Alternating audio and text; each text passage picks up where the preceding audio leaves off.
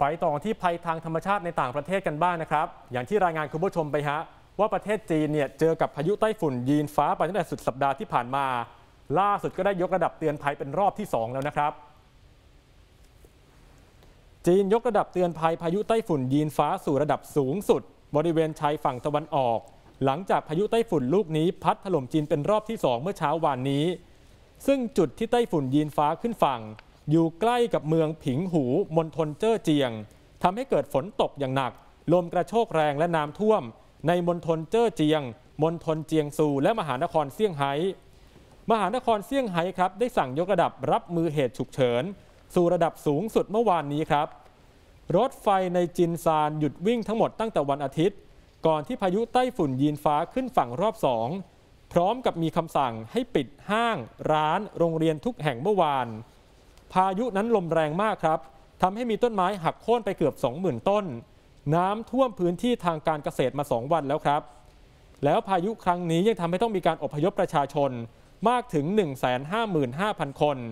มีคนเดือดร้อนอีกมากกว่า 114,000 คน พื้นที่เพาะปลูกทางการเกษตร ฟาร์มเลี้ยงสัตว์ เสียหายเป็นล้านเฮกเตอร์เลยนะครับ คิดเป็นมูลค่าความเสียหายทางเศรษฐกิจมากกว่า 4.67 ล้านหยวนฮะ ส่วนกรุงปักกิ่งเมืองหลวงของจีน รอดพ้นจากไต้ฝุ่นยีนฟ้า เพราะว่าไต้ฝุ่นส่งผลกระทบเพียงเล็กน้อยเท่านั้น จากฝั่งเอเชียข้ามไปดูสหรัฐอเมริกากันบ้างครับ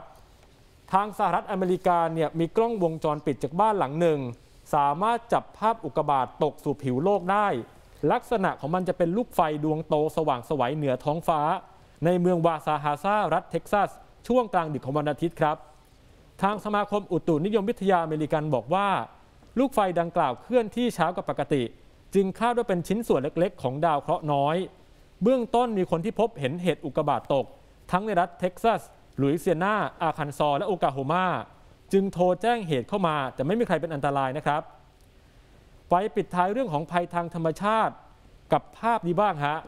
เป็นกลุ่มของเมฆหมอกที่ก่อตัวจากฝุ่น กลายเป็นพายุฝุ่น เคลื่อนปกคลุมเมืองฟินิกซ์ รัฐแอริโซนาเมื่อวานนี้บดบังทัศนวิสัยในการขับขี่ทำให้ทางสำนักงานอุตุนิยมวิทยาของเขา